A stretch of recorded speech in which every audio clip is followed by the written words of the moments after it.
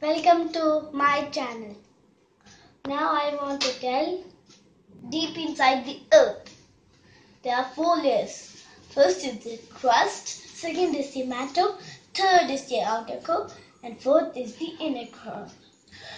First we talk about inner, I mean crust. Crust has mountains, rocks, and exploding volcanoes. And mantle has so many hard rocks. And outer core has liquid rocks called magma.